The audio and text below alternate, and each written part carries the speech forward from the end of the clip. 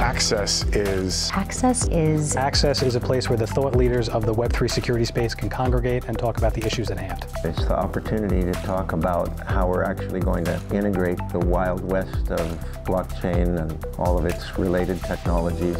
access to me is getting to the masses in a completely transparent way. it's giving people access to the movers and the decision makers and the people who need to be talking about these important decisions in the security space. Web3 is about democratization, information, transparency, and access by all.